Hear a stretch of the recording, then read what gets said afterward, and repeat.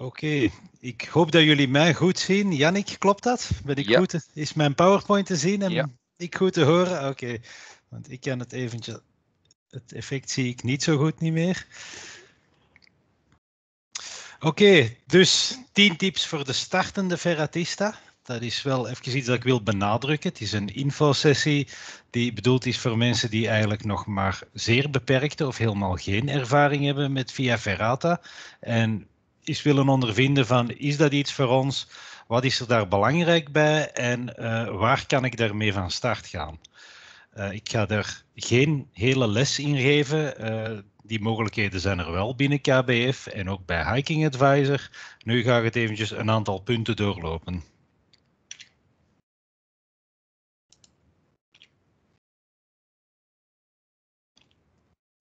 Ja. Eh, wie ben ik? Ja, Jannik heeft mij zo net al voorgesteld. Ik kan nog even meedelen ook dat ik eh, zowel vrijwilliger voor Hiking Advisor ben, ook nog voor een aantal andere bergsportverenigingen. Eh, bij Hiking Advisor valt dat op dat ik toch wel vooral rond de Via Ferrata activiteiten zeer actief ben. Bij andere bergsportclubs zit dat vaak in andere disciplines, in bergbeklimmen of in rotsklimmen bijvoorbeeld. Eh, ik werk ook sinds eh, oktober opnieuw voor, de, voor KBF zelf, eh, waar ik eigenlijk momenteel mij een beetje over alle bergsporten ontferm. Dus eigenlijk alle sporten waarvoor dat je normaal gezien naar het buitenland zou gaan. Ehm, en via Ferrata hoort daar deels ook bij, ook al kunnen we daar ook wel in eigen land al wel het een en ander mee doen. Nu, Via Ferrata, wat is dat? Via Ferrata is de stalen weg, letterlijk vertaald. Ontstaan ergens in de, het bekendste eigenlijk is eigenlijk van de Eerste Wereldoorlog dat men daarmee eh, in Italië, in de Dolomieten, de frontbewegingen mogelijk maakte. Tegenwoordig kennen we dat meer vanuit een, een recreatieve invulling, een toeristische invulling, een sportieve invulling. Uh, hier zie je al vier verschillende soorten via ferrata. Links zou je kunnen zeggen, oké, dat is een via ferrata, uh, hij is al wel aan de steile kant, maar eentje waar je is met kinderen een kort stukje steiler kunt overgaan, maar voor de rest liefst ietsje vlakker terrein. Dan zie je daar uh, een soort kabelbrug. Daar houdt Via Ferrata soms zo het midden met de hindernissenparcours. Zeker tegenwoordig vind je in Frankrijk vooral, maar ook in Oostenrijk alsmaar meer. En in eigen land zien we dat toch ook vaak, dat er ja, zo speelse elementen in een Via Ferrata worden ingestoken, zoals kabelbaantjes, tyroliennes, uh, laddertjes enzovoort. Dan zie je een foto van een, uh, een van de bekendere in Oostenrijk, um, een Via Ferrata, waarbij dat je naar hogere toppen gaat, of hogere kools. Dus een uh, Via Ferrata met, met meer een uh, alpine karakter. Dat betekent ook, het gaat niet alleen niet meer over Via Ferrata als je in dat terrein bent. Dan ben je eigenlijk in terrein waar dat je ook wat vaardigheden als bergwandelaar of soms zelfs als bergbeklimmer nodig hebt. En rechts zie je dan een Via Ferrata die wat uh, ja, aanzienlijk sportiever is, zwaar overhangend. Uh, ook dat zie je alsmaar meer te, tegenwoordig. Um, ja, dat wordt dan denk ik als krachttraining vaak gedaan door uh, lokale mensen die dat eventjes een Via Ferrata doen, zoals andere mensen misschien eens gaan joggen of met hun skis in de winter een piste omhoog stappen. Ik ga beginnen met een drietal vragen. Ik ga jullie antwoorden niet kunnen lezen. Uh, bedenk ze gewoon eventjes wat voor jou de antwoord zou kunnen zijn. Een aantal stellingen. De eerste is via ferrata beveiligen zoals een rotsklimroute. Dus met gebruik van zo touw en tussenzekeringen, van die klimsetjes tussenin, is veiliger dan het gebruik van zo'n via ferrata set. Zo met die twee linten en een karabiner eraan. Dat is waar dat dat veiliger zou zijn. Want op die manier zou een eventuele val veel dynamischer opgevangen kunnen worden. Er is natuurlijk ook wel een maar. Um, vallen in een via ferrata terrein is altijd enorm riskant. Want het is eigenlijk niet bedoeld om te vallen. Terwijl een rotsklimroute, tenminste in een geëquipeerd massief, is wel bedoeld om er eens te kunnen uitvallen in de moeilijkere niveaus. En dan kan je redelijk vrij vallen in een touw dat, dat dynamisch is, dat meerekt. Bij een kabel ligt dat toch heel anders en er steken overal ijzeren pinnen uit enzovoort. Dus je zou niet graag vallen. Het zou ook enorm tijdrovend zijn moesten we dat op de klassieke rotsklimmanier gaan uh, lange via ferrata's overwinnen.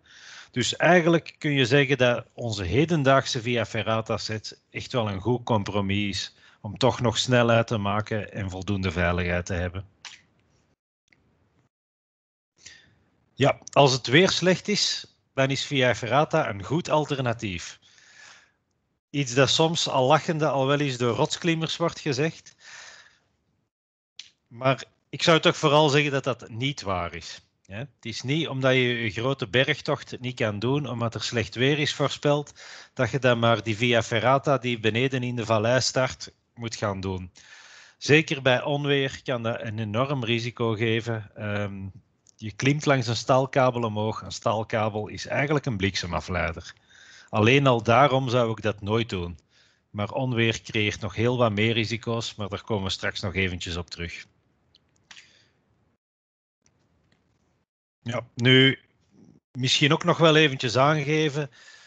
Ehm, als het zo'n klein beetje aan het miseren is, kan dat in sommige gemakkelijke via ferrata's nog een optie zijn. Maar ja, neerslag gaat wel gepaard met eh, dat het gladder wordt en ook dat bijvoorbeeld stenen die boven de via ferrata liggen misschien gemakkelijker loskomen. Dus je stelt je altijd bloot aan meer risico's als je bij neerslag een via ferrata gaat doen. Velen, en dat bleek al uit de vragen die op voorhand gesteld zijn, hebben interesse om hun kinderen via ferrata te gaan doen. Ik kan dat heel goed verstaan. Met uh, kinderen wil je bergtochten kunnen doen die heel wat afwisseling hebben. En via ferrata is zo een invulling om zo afwisseling te creëren, wat extra uitdaging te creëren. Um, het gaat dan misschien nog niet over de, de meest zuivere via ferrata's, maar eerder de wandelpaden die ja, van kabels voorzien zijn, waar klauterpassages zijn enzovoort. Zeker te overwegen. Maar een kind met een via ferrata set uitrusten en dan denken van en nu is alles veilig, is meestal niet waar. Sommige gemakkelijke passages, daar links zie je eigenlijk een goed voorbeeld. Um, een jongetje dat eigenlijk op, het is een via ferrata, maar eigenlijk is dat zo de laagste categorie van via ferrata. En de vader loopt er gewoon vlak achter en zorgt ervoor dat die, uh, ja, dat die zeker altijd vastgepikt blijft. In die situatie zou dat wel kunnen uw kind in de gaten houden en erachter gaan. Er is in C ook geen echte val mogelijk. Op het moment dat dat kind zou uitglijden, hangt die direct vast. Er is geen eh, val van een aantal meter. Dan kom ik nu op die 10 tips die ik jullie beloofd heb. Eerst, wat voor materiaal heb je nodig? Als we spreken over het basismateriaal, dan is dat hetgene dat ernaast staat die drie voorwerpen, dat is cruciaal voor de veiligheid op een kletterstijg of een via ferrata. Voor degenen die die twee termen uh, niet goed kennen, uh, kletterstijg is eigenlijk gewoon de term die gebruikt wordt in alle Duits sprekende landen. Dan zal men bijna nooit over via ferrata spreken. Via ferrata wordt dan weer ja, wereldwijd gebruikt en in alle Franse en Italiaans sprekende landen. Wat hebben we nodig? Een helm. Dat is in de eerste plaats een steenslaghelm, maar ook eentje die je wel um, je hoofd beschermt tegen het stoten. En daar heb je bij Via Ferrata kun je dat wel net iets couranter meemaken. Want net doordat er, er overal zo uh, tredes en uh, pinnen uitsteken, uh, bij een rots is dat minder zo. Er is dat meestal iets vlakker en hang je weg van die rots. Met die tredes ligt dat heel anders. Uh, zoals ik er straks al zei, steenslag is een gevaar. Bij Via Ferrata heb je ook het nadeel, je zit in een parcours, je volgt een weggesje waar vaak meer mensen op zitten en je kan ook niet ver weg gaan van dat parcours om um, een stenen te ontwijken bijvoorbeeld. Dus een helm blijft echt wel een must.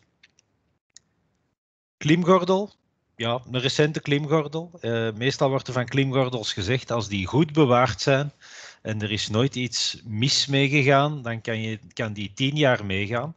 Heb je dus nog een ding liggen van 15 of 20 jaar geleden, gebruik dat alsjeblieft niet meer. Uw leven hangt ervan af. Hetzelfde eigenlijk met een via ferrata set. Die zijn enorm geëvolueerd doorheen de jaren.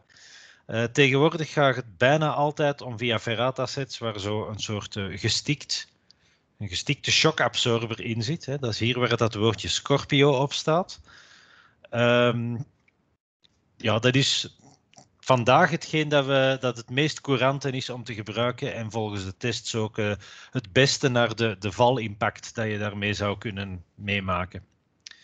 Dit is uh, een van de duurdere Via Ferrata sets die dat je daar ziet staan.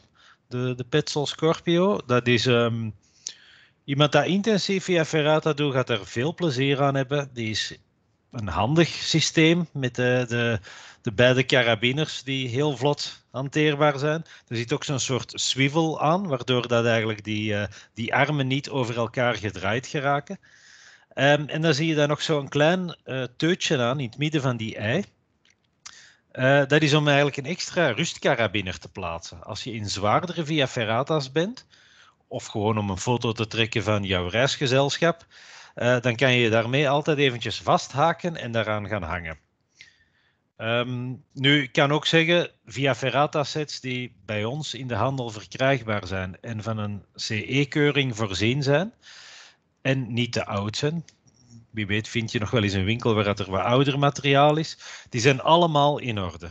Daar moet je op zich geen zorgen over maken. Uh, de goedkopere via ferrata sets zijn ook veilig.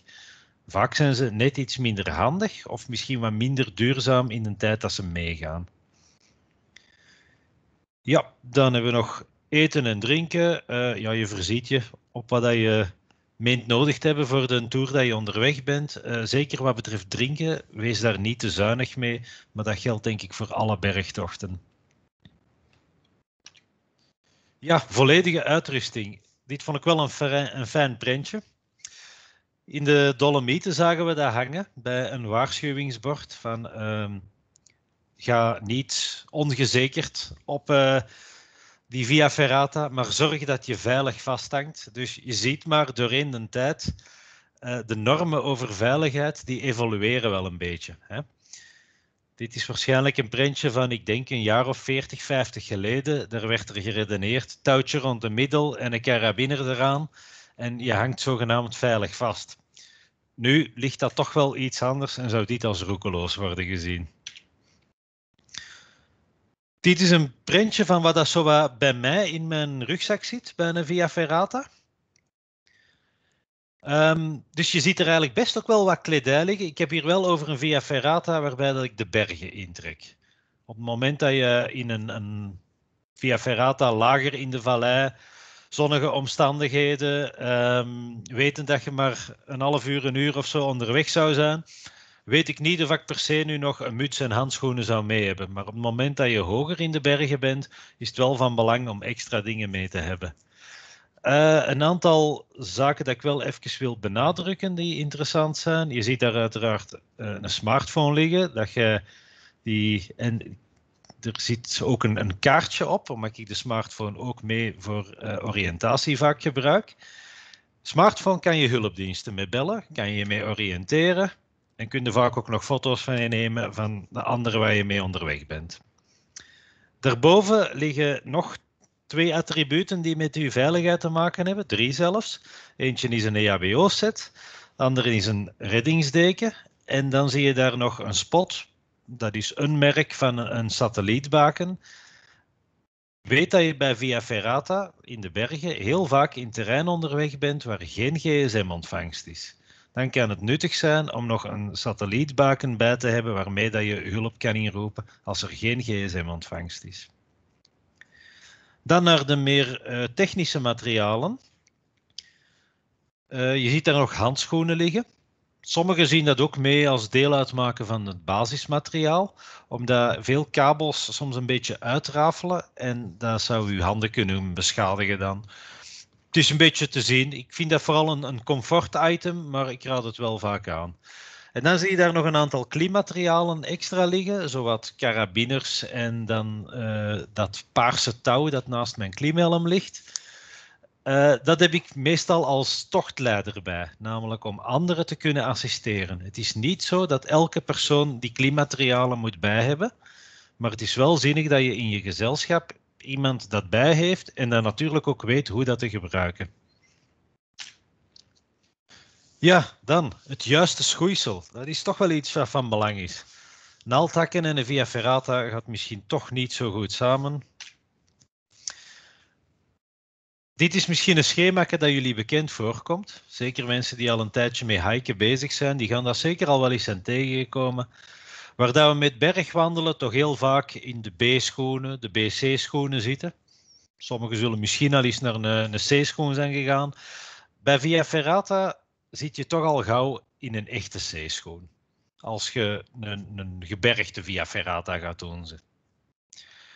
Wat dat er ook nog interessant kan zijn, zeker voor um, Via Ferrata's die wat meer uh, ja, in, in het laagland liggen, in de vallei. Dat zijn zo de zogenaamde approche schoenen. Zo van die uh, meer lichtgewicht, lage schoenen, maar met een vrij stijve zool en een klimtype aan. Het zijn heel goede schoenen om via Ferrata mee te doen, zolang dat je niet in dat meer alpine, ruigere terrein u moet gaan begeven. Dan komen we aan tip 2. Wat je moet kunnen. Daar hangt het er heel hard vanaf welke via Ferrata dat je wilt gaan doen. Als, je zag, als we kijken naar die recreatieve via Ferrata's in de vallei, mooi bewegwijzerd, een heel duidelijk kort wandelpaadje daar naartoe, zoals er heel veel zijn. Ja, ik denk zelf vooral aan Oostenrijk, maar in Frankrijk ken ik er bijvoorbeeld ook heel veel zo. Um, ja, dan speelt die oriëntatietechnieken net iets minder rol. Die staptechnieken, dat hangt er wat vanaf van hoe het padje ligt. Um, die tochtvoorbereiding blijft volgens mij altijd wel relevant. Want of je nu kort of lang onderweg bent, je wilt wel eigenlijk alles weten over uw tocht. Dus dat zijn basisvaardigheden die van toepassing zijn afhankelijk van het soort via ferrata dat je wil gaan doen.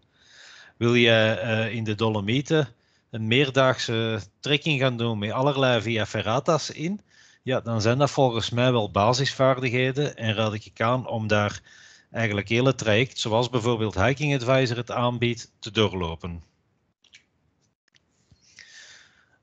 Dan, je hoort ook een aantal basisknopen en touwtechnieken te kennen.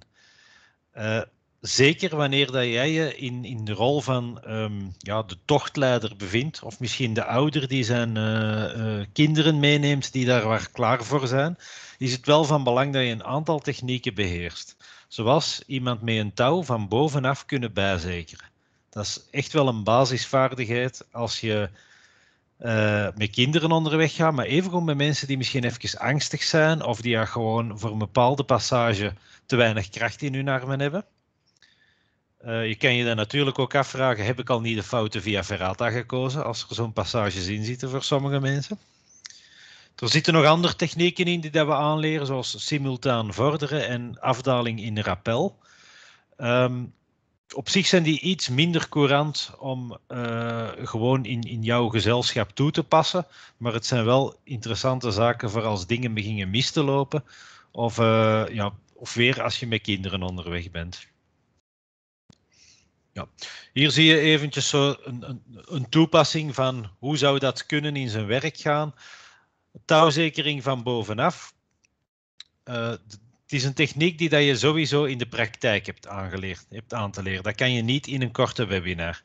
Maar wat is daar meestal de methode? Degene die ja vlot klimt, en gaat op een steile passage, klimt hij naar boven en bovenaan laat hij een stuk touw zakken, waar dat ineens eigenlijk al een, uh, een schroefkarabiner aanhangt. Dat hangt de naklimmer aan zijn klimgordel vast en die wordt gewoon extra gezekerd, zodat hij eigenlijk geen val mogelijk is. Ja, gezien de vele vragen die er over met kinderen onderweg zijn waren, heb ik hier toch nogal gauw twee slides uit mijn uh, cursus PowerPoint tussen gestoken. En er zijn een aantal dingen dat je wat in gedachten hoort te hebben. Jongere kinderen dan zes jaar En leeftijd is natuurlijk niet alles bepalend. Als uw kind al van zijn vier jaar klimtraining aan het volgen is in een klimzaal, zal dat allicht op zijn vijf jaar ook al wel meer iets kunnen doen dan een kind dat nog nooit uh, in de bergen is onderweg geweest of nog nooit iets met klimactiviteiten gedaan heeft. Maar min of meer naar leeftijden zou ik adviseren van kinderen van 6 tot 8 jaar horen altijd aan een touwzekering te hangen. Weet ook dat kinderen um, onder de 30 kilo, um, dat een, een via ferrata set niet geschikt is voor hen. Dus die shockabsorber die werkt eigenlijk onvoldoende als zij zouden vallen. Um, dus kinderen van 9 tot 11 jaar en meer dan 30 kilo, die kun je wel al met een via ferrata set laten klimmen. Maar daar raad ik toch aan, zorg er altijd voor dat ze steeds bij verticaal terrein van bovenaf gezekerd zijn. Zolang dat je horizontaal en diagonaal aan het vorderen bent, is dat minder een issue. Nu, het grootste risico met kinderen is, je kan er eigenlijk, en ik redeneer daarvoor toch wel tot ongeveer 12 jaar, er niet van uitgaan dat die zich nooit zullen unclippen. Dat die eens een keer allebei de via ferrata sets van de kabel zullen loshaken. Daarom wordt er meestal gezegd dat je eigenlijk altijd per kind een volwassene voorziet, zodat je permanent toezicht kan houden. En dan zie je het er nog eens, ja, bij valrisico wordt er eigenlijk altijd gezekerd te worden. Soms, bij jongere kinderen, wordt er soms nog wel eens de methode van het eronder klimmen toegepast. Maar je dan eigenlijk ook wat de, de, ja, de val zou kunnen breken. Uh, nu, een 12-jarige waar je gaat onderklimmen, ik denk dat je gewoon meevalt dan. Hè. Dan kan mij moeilijk voorstellen dat je dat kan houden als die al uh, enig gewicht heeft belangrijkste staat eigenlijk in dat rood vlak. Bij kinderen denk je heel goed na over wat voor via ferrata kies ik. Dan, waarheen? En nu komen we op eigenlijk uh, heel veel verschillende landen waar dat we naartoe kunnen. Maar dit vond ik wel een, een interessant kaartje dat ik van het internet geplukt heb kijk niet helemaal naar de aantallen, want het zijn maar degenen die op die website natuurlijk stonden. Maar het valt toch wel op van waar zo de meeste via ferrata's zijn en welke regio's zo toch iets minder bedeeld zijn. Het valt heel op dat zo uh, Oostenrijk zit heel sterk, dan de Italiaanse Dolomieten. Maar verder, Zwitserland, Frankrijk enzovoort, ziet het allemaal veel meer verspreid en zijn er vooral wat minder via ferrata's. Eerst al even in eigen land. Uh, dan kan ik zeggen dat ja, in het boekje Start to Via Ferrata staan alle Via Ferrata's opgesomd die momenteel uh, beschikbaar zijn voor ons als KBF-leden. Daarnaast zijn er ook nog wel wat uh, commerciële Via Ferrata's. Die, als je nog nooit met die activiteit hebt kennis gemaakt, kan dat wel een idee zijn. Van dat je bij een, uh, een van de commerciële aanbieders, het zij in Dardenne, het zij op een klimtoren, gewoon al eens gaat ondervinden van wat is dat? Die hoogte, zo'n traject afleggen, ligt het mij of ligt het mij toch niet zo goed? Of ligt het mijn gezin? Uh, daarvoor is dat heel goed, dat is vaak heel goed omkaderd. Sommigen hebben um, ja, een heel een constant glider systeem op hun um, via ferrata zitten, zodat je eigenlijk zelfs geen fouten kan maken daarbij. Dus het is een interessante manier om de eerste keer kennis te maken. Maar vanaf dat je gaat naar de weg naar zelfstandigheid, dan kom je best bij ons als KBF terecht en bij de clubs om daar meer iets mee te doen. Ik heb daar twee uh, schetsjes opgezet van de twee via ferrata's die eigenlijk nogal courant gedaan worden um, bij ons op het basisweekend voor via ferrata. De ene is die Castel 4, dat is de via ferrata Stef in Pontales, dat is tegen Dienant aan. Dat is de makkelijkste via ferrata die we eigenlijk uh, zo toegang toe hebben. En de andere is een best lange via ferrata in Marsledam, in het militair kamp. Dat is meestal degene dat we op de tweede dag doen als we uh, een via ferrata start, een start via ferrata weekend hebben. Ja, dan komen we um, bij Duitsland, ons buurland. Um, Best ook wel wat via ferrata's. Uiteraard, vooral naar de Alpen toe zijn er wat. Maar er zijn er ook in iets lager gelegen terrein. Maar ja, ze houden meer het, midden tussen bergwandelen en uh, via ferrata dan. Er zijn weinig echt uitgesproken via ferrata's in het uh, lager gelegen gebied in Duitsland. Ik heb daar ook telkens uh, wat foto's van topo's ingezet die courant zijn voor elk van die landen. ik kan zeggen dat ik zelf voor ja, alle Duits sprekende landen enorm fan ben van die Alpin verlaagboeken waar ook altijd een app aangekoppeld is. Dus je hoeft niet die hele dikke boek meenemen. Je kan uh, perfect de app gebruiken en die tekeningen zijn fantastisch. Die informatie die erbij gegeven is, is geweldig. En je kan het dan ook nog eens op een plannetje heel goed lokaliseren. Maar ik zeg het, ik ken niet elk van die boeken goed. Dus ja, de roterboeken zijn meestal wat, wat meer sumier in hun informatie, maar vaak ook goedkoper dan weer. Ja, voor Oostenrijk zie je een aantal boeken. Slovenië, direct grenzend aan Oostenrijk. Uh, nogal wat boeken van Oostenrijk nemen eigenlijk ineens de Julische Alpen mee, om daar ook de Via Ferratas of de bekendste Via Ferratas aan bod te brengen. Uh, via Ferrata in Slovenië geef ik wel mee, is vaak zo toch net allemaal net iets ruiger. Uh, de bekabeling ja, durft soms wat te wensen overlaten. Dus ja, het is iets avontuurlijker terrein vaak dan uh, de vaak perfect onderhouden via ferratas die je in Oostenrijk tegenkomt. In Zwitserland is het uh, meer gespreid, maar anderzijds ook vaak veel langere via ferratas dat je daar tegenkomt. En uh, vele die eigenlijk naar, naar ja, over reusachtige bergwanden of naar toppen leiden. Nu, ik zie daar ook een boek staan, lichte kletterstijgen, dus die zijn er ook wel degelijk. Maar let in Zwitserland heel goed op dat je je niet door het woord kletterstijg laat misleiden en dan in zeer zwaar terrein terechtkomt.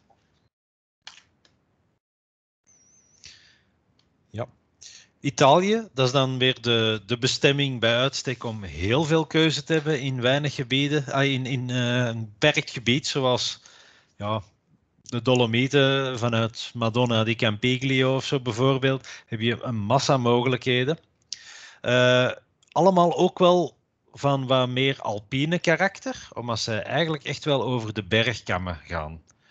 Dus um, je hoort ook wel jouw basisvaardigheid als bergwandelaar te hebben.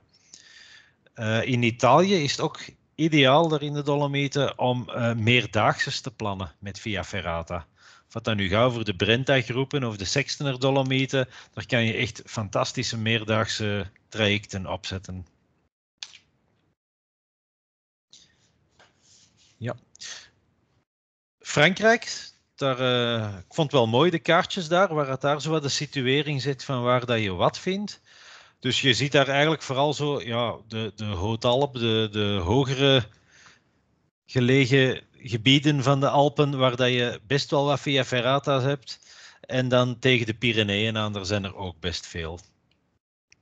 Sommige in Frankrijk zijn uh, commercieel uitgebaat, dus daar moet je dan eerst een toegangsgeld voor betalen. Uh, wat dat in Frankrijk ook heel hard opvalt, en Slovenië heeft dat ook bij sommigen, is dat er uh, best wel wat zijn waar er heel lange Tyroliennes in verwerkt zijn. Dat je dan eigenlijk ook soms is het optioneel, soms verplicht, maar dat je dan eigenlijk zo'n extra kick-aspect er eigenlijk ook wel mee krijgt. Ja, in Spanje, kijk niet naar de nummertjes, er zijn er meer daar, maar ook daar, ja, vooral de Pyreneeën uiteraard, dat er het meeste zijn. Um, de enkele Via Ferratas nog maar dat ik in Spanje gedaan heb, moet ik zeggen dat heel knap waren. Uh, maar ook allemaal zo wel net iets uitdagender, iets langer uh, en vooral ook vaak heel warm. Dus heel goed nadenken als je er zoiets wilt gaan doen daar, wanneer dat je dat doet en neem zeker genoeg water mee. Ja, dan komen we aan tip 5. Plan je trip. En eigenlijk komt het er vooral op neer dat je heel goed gaat nadenken, wat is er geschikt om te doen nu? Um, hoe lang mag die zijn? Hoe lang kan ik onderweg zijn? Uh, welke moeilijkheid kan ik aan? De aanloop, de afdaling. Dat laatste is iets dat soms wel eens vergeten wordt, dat je vaak nog terug naar beneden moet. Soms is dat een heel makkelijk paadje, maar het kan even goed zijn dat uw afdaling zwaarder wordt dan het eigenlijk uw via ferrata was. Dus zie dat je dat heel goed hebt voorbereid, te weten wat dat je gaat doen ermee. Condities, nog zoiets dat van belang is. Wat zijn condities? Dat is uh, de staat waarin dat uw uh, route zich bevindt en uw afdaling zich bevindt. Als je bijvoorbeeld eind, uh, eind juni, begin zomer in bepaalde bergstreken een via ferrata wilt gaan doen, kan dat wel eens zijn dat bijvoorbeeld de kabel nog onder de sneeuw steekt. Dan is niet het moment om die via ferrata te doen. Of dat de via ferrata zelf door een zuidwand loopt, volledig vrij ligt, en dat je boven komt en het is er uh, geen wandelpadje naar beneden, maar een, stijl, een steile sneeuwhelling. Ja, als je daar dan niet op voorzien bent en niet de juiste technieken beheerst om er veilig af te komen, dan beland je al heel snel in een gevaarlijke situatie. Weersvoorspelling is nog zoiets. Uh, ja, ik had het er straks al gezegd, met onweer en met neerslag doe je liever geen via ferrata. Met onweer zou ik zelfs zeggen, blijf er absoluut uit weg. Weersvoorspelling is één ding. Ochtends checken of dat die weersvoorspelling ook overeenkomt met wat dat je kan zien, is ook van belang. Altijd ben je in een berghut bijvoorbeeld, uh, kan je ook altijd aan de huttenweert vragen van uh, wat is uw gedacht hierover? Die hebben, die hebben dat ook als opdracht en die hebben er meestal ook een heel goed oog op van wat dat mogelijk is of niet mogelijk is. De groep waar je mee onderweg bent, ideale groepsgrootte zou ik zeggen is zo ergens iets tussen de drie, vier, vijf mensen. Meer dan dat, dan ben je vaak heel lang op elkaar aan het wachten en je vergroot eigenlijk ook meer het steenslaggevaar. Dan naar moeilijkheidsquoteringen. Dat is een beetje tand bij Via Ferrata, omdat ze daar eigenlijk eh, heel veel verschillende systemen door elkaar gaan gebruiken zijn. In Oostenrijk is tegenwoordig het meest courante die uh, schaal van A tot F gebruiken. Um, A zou je kunnen zeggen dat dat eigenlijk zo wat wandelterrein is met een kabel naast, waar dat je hier en daar ook eens je handen nodig hebt om ergens uh, op een rotsblokje of zo te kruipen. Vanaf B begin je echt het gevoel te hebben van oké, ik ben met via ferrata bezig. B en C is het terrein waarin dat we meestal met nieuwe mensen in starten. Zit je in terrein D, dat is vaak voor velen al zwaarder aanvolend. Dus zorg ervoor dat je daar even uh, een stapje terug in doet en doe genoeg B en C voordat je naar D gaat. Duitsland heeft dan weer die K-quotatie. Uh, en Italië en Frankrijk, dat is een redelijk gelijkaardige quotatie. Alleen hebben ze gewoon ja, een iets andere taal. Maar daar, voor Frankrijk is de F tot, uh, tot TD of ED-quotatie. Uh, FPD-D, vaak zit er nog wel AD tussen. Dat zie ik er hier nu even niet. AD is van AC difficiel. En dan zijn er nog heel wat boeken die ook nog eens met kleurenquotaties en nog heel wat andere systemen werken om het een zicht op te geven. Um, ik, ik, heb hier even een afdruk uit een van die Alpin verlaagtoppos ingestoken, wat daar je trouwens ook op bergstijgen.com online gewoon kan zien. En dan zie je direct, ja, dat is, dat is echt wel heel duidelijk. Hè? Je ziet daar de aanloop van een route. Uh, je ziet links 15 minuten omhoog, dat wil zeggen 15 minuten om tot aan het begin te komen. Heel mooi uitgetekend waar welke passages in zitten, wat je allemaal kan tegenkomen. Uh, vaak ook de risico's zijn aangeduid. Daar zie je bijvoorbeeld die Tyrolien staan. Dat je, ja, als je dat materiaal bij hebt en weet hoe wat zit, kan je dat beoefenen. Maar je kan er ook rondgaan. Iets als steenslaggevaar staat er heel vaak ook mee in vermeld. En ja, je kan heel goed nakijken hoe moet ik verder naar beneden enzovoort. Als je dat dan naast uh, een kaart legt, dan kan je echt wel goed uh, op terrein alvast je tocht voorbereiden. Een belangrijke tip is ook jezelf te kennen. Dat is eigenlijk het meest bepalende nog. Goed weten van wat past er voor mij en voor de mensen waar ik mee onderweg ben. Dus goed weten wat kan ik conditioneel aan, wat kan ik qua kracht aan. Als je uh, maar enkele keren kunt optrekken aan je armen, ja, dan moet je niet een overhangende via ferrata gaan doen. Dat denk ik dat vrij logisch is. Je hoort genoeg armkracht hebben als je zwaarder terrein gaat doen. Maar nog veel belangrijker zijn de dingen die eronder staan. Uw kennis, uw klimtechnieken en uw ervaring. Die moet je eerst zien te verwerven en dat doe je best geleidelijk aan en aanvankelijk onder begeleiding. Ja, veiligheid voor alles. Deze is geen nieuwe. Kans op onweer, we vertrekken niet. Voordat we vertrekken, doen we een partnercheck. Het gaat zowel dan om zeer letterlijk, heeft ieder zijn materiaal correct aangedaan? Uh, is de gordel goed aangespannen? En dan kijk ik vooral ook naar kinderen en personen met heel smalle heupen. Als die gordel niet goed genoeg is aangespannen, en zou dat wel eens kunnen dat ze uit hun gordel vallen. Dus heel belangrijk dat dat te goed gebeurt. Maar partnercheck gaat ook om um, elkaar bevragen over wat zit er in de rugzak. Hebben we alles bij? En evengoed over hoe is het met u? Ziet het nog zitten?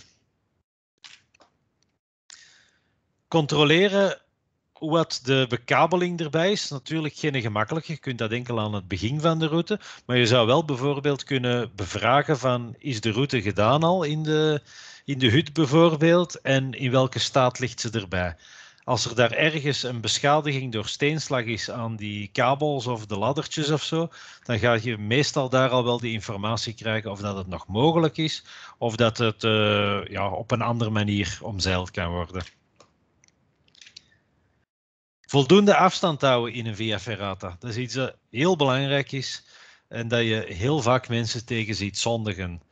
Um, hou er niet alleen rekening mee dat er een haak tussen is. Dat is al goed, dat je dat al minstens doet. In horizontaal terrein is dat in C voldoende.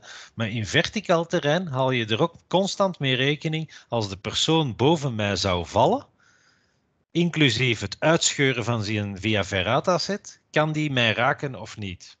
En dat is de afstand die je tussen moet laten. Vaak is dat dus 8 meter tussen of zo als je verticaal aan het klimmen bent.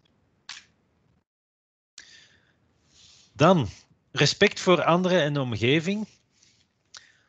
Uh, vaak ben je niet alleen onderweg. Dus zorg ervoor dat je heel goed rekening blijft houden met elkaar binnen je groepje, maar ook met anderen die je tegenkomt. Soms ga je misschien mensen kruisen. Zeker als je zo de, de Bochette-route in, in de Brenta-Dolomieten of zo ooit zou willen doen, ja, dan zit je constant met kruisend verkeer. Het is belangrijk om daar goed af te stemmen. Dat je aangeeft van, ja, ik zie dat eigenlijk hier niet zitten, dat ik iemand moet passeren. Dat je daar blijft over communiceren en ook met die andere mensen communiceert van waar gaan we elkaar passeren. Hou ook zeker rekening daarmee uh, met steenslag. Want ja, ook dat is iets dat je best over afstemt. Iemand die stil zit of stil hangt, kan waarschijnlijk geen stenen verlosshotten. Maar iemand die naar boven aan het klimmen is en misschien ook een beetje verkrampt of onwennig is, die gaat veel gemakkelijker al die stenen naar beneden stampen. Ook afspreken in de groep rond leiderschap. Um, het is heel goed om duidelijk te weten wie is hier een tochtleider en wat ik ook altijd aanraad is, spreek vooraf al eens van wat als dingen mislopen? Hoe gaan we dat aanpakken? Wie neemt wat op? Tijdens een, uh, een tocht is het ook van belang zeker genoeg rustmomenten in te bouwen, uh, genoeg blijven eten en drinken. Uh, als tochtleider vind ik dat zelfs nog een van de belangrijkste dingen. Goed in de gaten houden dat iedereen constant genoeg blijft eten en drinken, want dat houdt hun geconcentreerd. En verantwoord met de natuur. Ik bedoel dat in de bredere zin.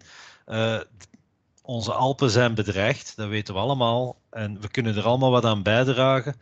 Uh, dat gaat verder dan enkel ons afval meenemen. Weet ook wat te doen bij een ongeval. Dat is een workshop op zichzelf ook, dus dat kan ik hier nu niet in de gouden eventjes brengen. Uh, er is nog wel zo'n workshop ergens in juni, geloof ik. Dus die kan je altijd volgen dan. Um, weet wat te doen bij een ongeval, dus denk er ook op voorhand al eens over na. Welke stappen heb ik allemaal te doen dan? En heb ik daar ook de nodige materialen voorbij, van wat ik zelf kan tenminste. Um, denk er altijd aan, als er iets gebeurt, let op uw eigen veiligheid.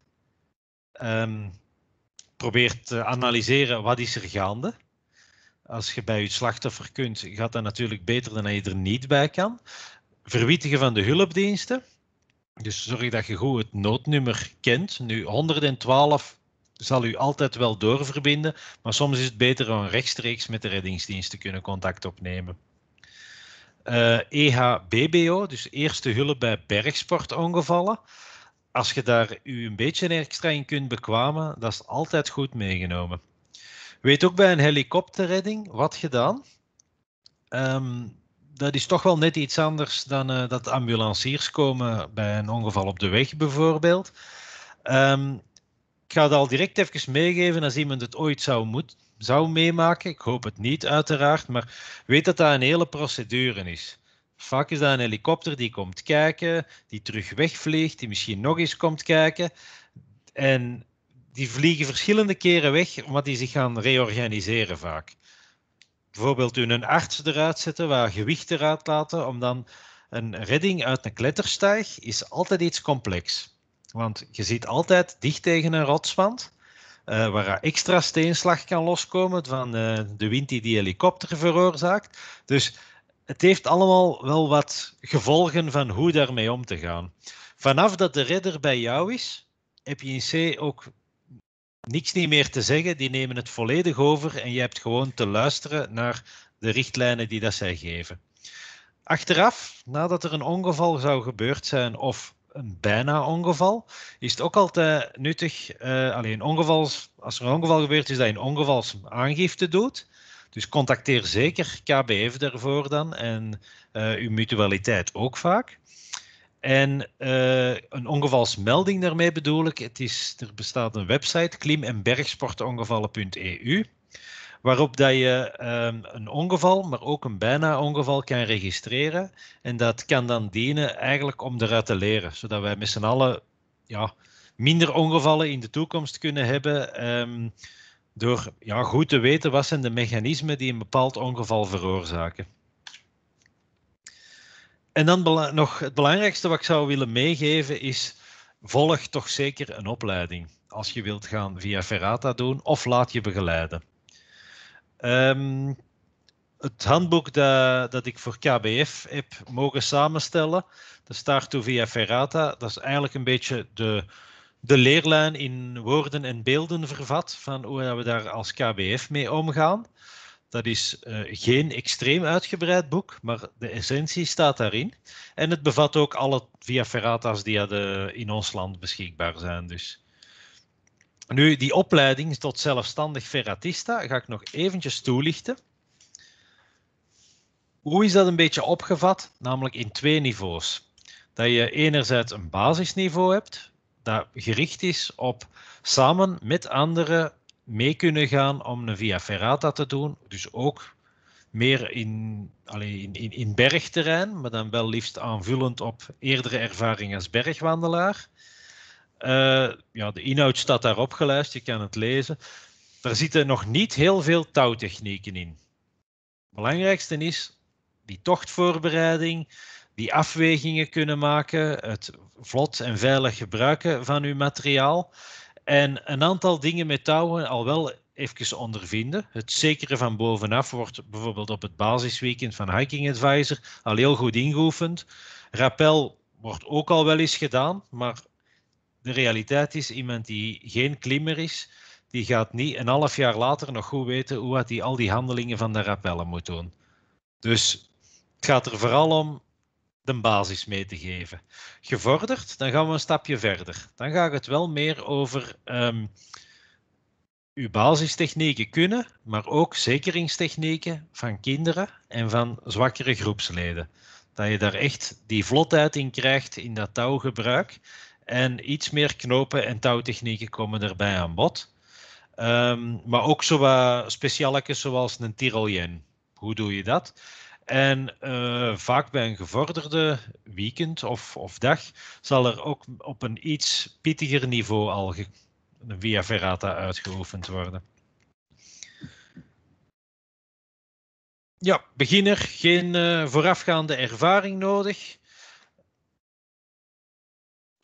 Ja, qua niveaus. Ah, misschien nog hier eventjes aangeven. Ja, dat is een fotootje van de Via Ferrata in Pontales van ja, voor velen een, een, een, bijzondere passage, omdat dat eigenlijk daar zo een lucht, luchtige pas, een overstap van de ene rots op de andere is.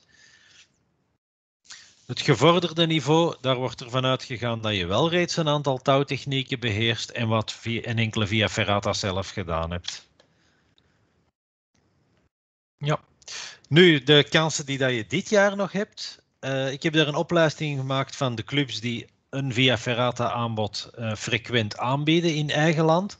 Ik heb dat niet gaan nakijken voor elke club wat dat ze nu dit jaar in dat rare coronajaar uh, aan het aanbieden zijn of op de planning hebben staan. Maar je weet, bij deze clubs kan je eventjes gaan rondhoren. En er zijn ondertussen nog andere clubs die het ook aan het overwegen zijn om in het aanbod op te nemen. Wat betreft Hiking Advisor kan ik zeggen dat er nog een basisweekend gepland staat, 24, 25 april behoud dus coronamaatregelen en dan gaan we kijken hoe dat we voor de mensen die daarvoor zijn ingeschreven tot eventueel andere oplossingen kunnen komen of door met de uh, bubbels te werken of zoiets. Buitenlandse stages uh, ga ik ook eventjes aangeven, want er heeft heel lang bij Hiking Advisor uh, enkel een ervaringsstage met aansluitend treffen gepubliceerd gestaan. wat dat we nu gedaan hebben, want dat staat heel snel volzet, en dat zat vooral volzet door uh, voormalige deelnemers aan eerdere stages die, uh, die ik voornamelijk begeleid heb. Um, maar er waren heel veel gevorderden, die eigenlijk perfect autonoom en zelfstandig onderweg kunnen. Dus we hebben eigenlijk nu, er nu parallel een treffen georganiseerd voor die gevorderde ferratistas, die zonder begeleiding zelf in hetzelfde gebied tochten gaan ondernemen en die daar s'avonds de kans hebben om hun plannen te bespreken met uh, mij en met een andere begeleider. Voor degenen die lichtgevorderde zijn, en dan beschouwen we uh, iemand als lichtgevorderde beschouwen als die minstens het basisweekend via Ferrata of gelijkwaardig gedaan heeft. Iemand die zelf al redelijk wat via Ferrata heeft van kunnen proeven en al wel eens hier en daar eens knopen heeft gelegd enzovoort, is ideaal voor het lichtgevorderde gebeuren. Die ervaringsstage is redelijk kort, is maar drie dagen. Maar we gaan even door de essentie heen. En daarna sluit je jullie gewoon aan op het, op, uh, het treffen waar dat dan de gevorderden in zitten. Bij BAC Antwerpen is er ook nog een ervaringsstage waar momenteel nog plaatsen voor zijn in juli. Dat is in de Hote Alp. En voor het uh, Blow Climbing Team, daar kunnen echte beginners ook in, uh, in Imst terecht. Dat loopt dus eigenlijk nog een stukje dubbel met het treffen. Um, en daar ja, kunnen echte beginners, als ze ineens in de bergen willen beginnen met uh, via ferratas, in de bergen, dat is dan vooral via ferratas vanuit de vallei dat we zullen doen dan. Maar uh, daar zitten ook mogelijkheden in. En dan kom ik denk ik nu tot de vragen. Ja, Bart, eh, er waren een aantal vragen. Um, ik zal eerst die van de chat doen en dan kunnen we eventueel nog andere vragen ook uh, laten stellen. Um, eerst, de eerste vraag die aan bod kwam, um, dat was eigenlijk Marsledam. Is dat op dit moment geopend en kan je dat eigenlijk zonder het rappeldeel doen? Uh, Marsledam is momenteel nog nog, nee, ik denk dat nu net geopend is, bij, maar enkel voor groepen op aanvraag, niet voor individuen. Maar ik neem aan, eens dat uh, het coronaverhaal achter de rug is, kan je daar als individu, als KBF-lid tenminste, ook terecht, maar enkel op weekend- en feestdagen. Uh, de Via Ferrata zelf kan je doen zonder de lange rappel. Aangezien je daar de Tarzankloof hebt, boven in het massief, waar, langs, waar dat je naar beneden kan wandelen. Allee, klauteren eigenlijk. Right. Um, Nico geeft aan dat in de Franse maritieme Alpen de meeste via ferrata verplicht in groep moeten gebeuren en onder begeleiding van een plaatselijke gids. Maar goed, uh, dat, is, dat is vooral een weetje, denk ik. Um, er is ook een vraag van ja, gevorderde weekend, maar ik denk dat je juist het hele overzicht van wat de mogelijkheden bij de clubs op dit moment zijn gegeven hebt. Dus die vraag is ook beantwoord, denk ik. Um, iemand vroeg zich af of je al kon inschrijven voor dat basisweekend van Hiking Advisor. Ja, voorlopig wachten we eigenlijk meer af in verband met corona. Hè. Wat kan er allemaal gebeuren? Dus uh, dat zijn de belangrijkste ja, dingen die aan bod gekomen zijn in, in de chat. Maar ik weet niet of er nog vragen zijn, mensen. jullie kunnen ze gerust stellen via de chat of misschien mondeling zelfs.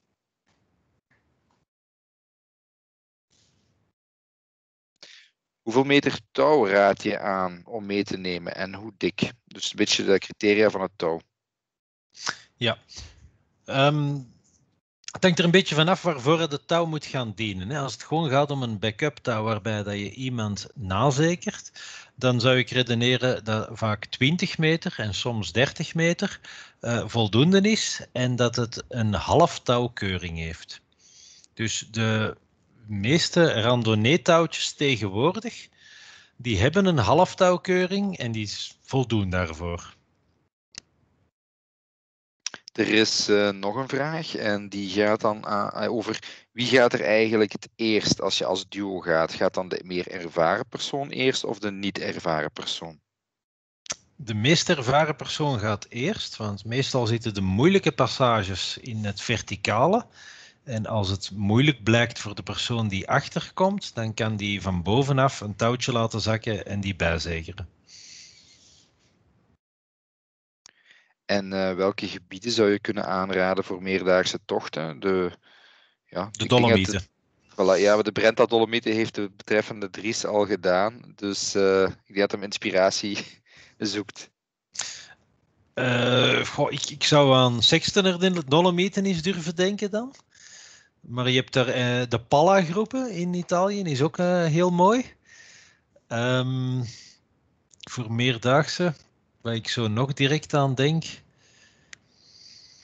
Ja, in uh, Montafon kan je eigenlijk ook vrij goed een, een traject van dagelijks via Ferrata aaneenrijgen.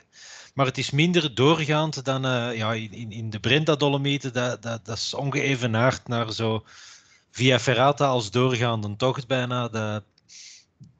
Ik, denk niet dat je dat gemakkelijk op die manier uh, ergens anders vindt. David uh, Verkruijsen suggereert ook nog de Palaronda-trek of de Palaronda Ferrata. Ik weet niet of die ook bekend is, Bart. Mm -hmm. Ja, Pala-groep is, is zeker. Uh, ja. Alright. Ja. Nog een vraagje. kan of mag je personen voorbij steken? Dat kan, maar nu dat, dat, het gaat erom dat je eigenlijk vooral communiceert daarmee. Dat je op de juiste plek voorbij steekt. Dat je dan vraagt van, uh, ja, daar aan die kruising waar het wat breder is, kunnen jullie er even aan de andere kant van de kabel zitten en dan passeren wij daar. Ik zou dat niet ongevraagd doen, want dan ga je disputen krijgen, denk ik. Ja, en veiligheid eerst, dus uh, goede afspraken maken, een veilige route. Hè. Um, er is ook de vraag uh, van ja, hoe combineer je via Ferrata met eventueel je, je, je bivakmateriaal, je campinggear. Want ja, Hiking Advisor staat natuurlijk bekend voor zijn bivakeren. Kan je dat gemakkelijk combineren, die twee? Dat kan, maar weet dan ja, hoe, zwaarder je rugzak wordt en hoe lomper eigenlijk, hoe groter, um, hoe lastiger het is om via Ferrata te doen en er dan ook nog een beetje van te kunnen genieten. Dus als dat gaat om via Ferrata um, ja, in de lagere niveaus, waar dat het meer gaat over uh, ja, beveiligde weggetjes en, en korte klauterpassages die niet zwaar zijn op de armen, dan denk ik dat dat behoorlijk goed doenbaar is. Maar hou vooral ook rekening met ja, de, de, ja, hoe, hoe, hoe smal zijn de smalste passages bijvoorbeeld. Maar het, het kan, zeker. Ja. Maar dus Genoeg wel een beetje opletten, denk ik. Ja, ja, voilà. Ik denk dat het niet ideaal is voor de eerste via Ferrata te doen met een full pack gear. Uh, met, met allemaal bivakmateriaal en dergelijke meer. Um, er was ook nog iemand die een vraag stelde over een, klimbos. Of dat een goede voorbereiding is op een via Ferrata. Het hangt een beetje vanaf hoe het klimbos is ingericht, maar ik, ik vind klimbossen en, en hindernissenparcours zeker interessant als je nog geen ervaring hebt met gewoon um, klimbewegingen en, en de, de leegte onder u ervaren. Of, de, of, ja, of op hoogte onderweg zijn. Um, daarvoor is dat een voordeel. En het hangt dan ook wel nog wat af van hoe de manier van beveiliging is. Je hebt daar uh, ofwel het, systeem van een Via Ferrata set, zoals ik het hier heb laten zien. Um, dat wordt soms toegepast, maar in, in België, alleen in West-Europa eigenlijk alsmaar minder. omdat dat eigenlijk ja, behoorlijk risicogevoelig is. En als begeleider van zo'n commercieel parcours, ehm, ja, je, je, hebt hun veiligheid niet in de handen, want ze hebben dat zelf in de handen. Dus daar wordt er vaker naar andere systemen overgestapt. Maar ja, een, een klimbus, Bos heeft zeker, uh, zeker met kinderen, vind ik dat een logischer een eerste stap dan een via ferrata gaan doen. Alright. Um, dan is nog een vraagje of je de Brenta-tocht zou kunnen doen met iemand die nog nooit eerder een Via Ferrata deed? Ik zou zeggen nee. Ja, als dat natuurlijk uh, iemand is die gewoon is van, alleen, van al in geëngageerd terrein aan bergwandelen te doen en misschien ook uh, in de klimzaal regelmatig hangt, zal dat iets helemaal anders zijn. Maar ik zou toch eerder aanraden van uh, ga al wat via Ferrata doen. Dus nooit in de Ardennen. Hè. Ja. ja. Nog een vraagje over materiaal, schoenen meer specifiek eigenlijk. Hier wordt gevraagd of klimschoentjes soms niet geschikter zouden kunnen zijn in moeilijkere routes. Kwestie van wrijving en de, brede, de kleine tredes beter te kunnen gebruiken. Um, ja. een beetje... Ik ga, nog, ik ga direct even op de klimschoenen ingaan. Maar ik wou nog eventjes aanvullend over de Brenta misschien nog eventjes meegeven dat in de Brenta uh, zit niet alleen via Ferrata en bergwandelterrein in, daar zitten ook sneeuwvelden en gletsjerterrein in. Hè. Dus ik wil daar nog eventjes van aanhalen, dat zijn niet de steilste gletsjers. Dat zijn ook niet de gletsjers waar de grootste uh, spleten of zoiets op liggen. Maar je komt wel, ik denk drie keer als ik me goed herinner, op een vereist terrein met een hellingzok. Um, dat heeft, afhankelijk van het seizoen en de plek waar je je bevindt, heeft dat extra risico's. Dus zijt u ervan bewust uh, en op voorbereid. Ja. ja. Um, wat betreft het schoeisel, uh, klimschoenen zijn niet courant in Via Ferrata. Uh, alhoewel ik wel moet toegeven, er zijn soms van die extreem sportieve, heel moeilijke Via Ferrata's, waar dat eigenlijk er gewoon een, een kabel langs eigenlijk een klimrots hangt en uh, alles op de voeten, op de wrijving, alleen op wrijving op de rots gedaan wordt. Op die specifieke via Ferrata zouden klimschoentjes een voordeel kunnen zijn, maar meestal is het een nadeel omdat je geen profiel hebt. Ja, maar dus eigenlijk ook weer niet voor de introductie via Ferrata, eigenlijk voor de gevorderde fases. Ja, inderdaad. En ja. ik heb nog nooit gedaan met klimschoentjes eigenlijk. Ik zie, ah, de... ik zie de meerwaarde er niet van. Maar... Londelie wordt als voorbeeld gegeven in België om eventueel met die klimschoentjes te doen, maar ik weet niet of dan dan gaat je klimschoenen gaan al helemaal vol slijk hangen op het moment dat ze het eerst nuttig zijn als klimschoenen dan. Dus, nee, ik zou dat echt niet, niet doen. Dat is, uh... Uh, Sophie vraagt ook naar uh, wat locaties in Wallonië waar je eventueel kan beginnen met Via Ferrata, eventueel commercieel. Commercieel beginnen met Via Ferrata. Wild Trails in Jupille, ehm, Durbuy Um, ja, Durbouy-avontuur. En dan heb je nog goh, Comblain en Pont, de, die outsider. En je hebt er nog eentje. Ik ga niet gaan spieken, ik geloof dat die vermeld staat.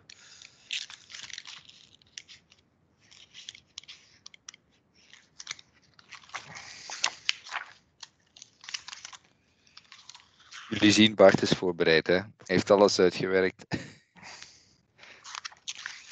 Ja, ik heb die normaal opgelijst ook. Remouchant, dat is een extra. Ja.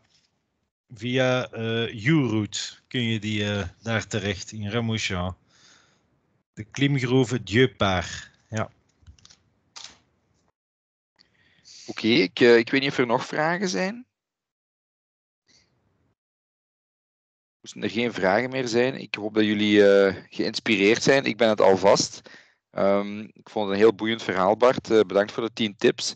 Ik denk ook heel belangrijk was om, om even aan te stippen waar het verschil ligt uh, tussen de, hoe zou ik zeggen, het beginnen en uh, het gevorderde verhaal. Dat heb je ook heel mooi aangestipt. En ja, bedankt voor, voor je toelichting. ook voor de deelnemers, bedankt voor jullie deelname. Zoals gezegd krijgen jullie nog een mailtje met een vraag naar evaluatie de PowerPoint die gebruikt is en de link naar de webinar zelf, uh, die opgenomen werd. En hopelijk tot een volgende activiteit. Hou zeker ook de kalender in het oog. En wil je niks missen, kan je altijd registreren op de nieuwsbrief van Hiking Advisor. Dank jullie wel en een fijne avond. Goed, dankjewel allemaal.